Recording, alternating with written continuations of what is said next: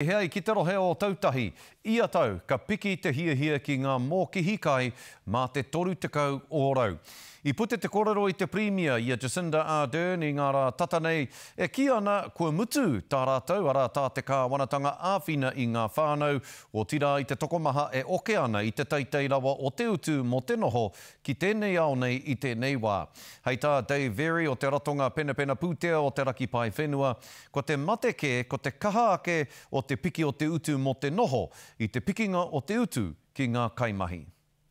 We are seeing people who perhaps wouldn't have come to a food bank before, people who've coming for the first time, people who are actually have a reasonable salary, sometimes even two salaries in a household, but they just can't make ends meet now because of the increase in the cost of rent, the increase in petrol, the increase in food, and other demands that are on them. So it's really stretching people's resources at the moment.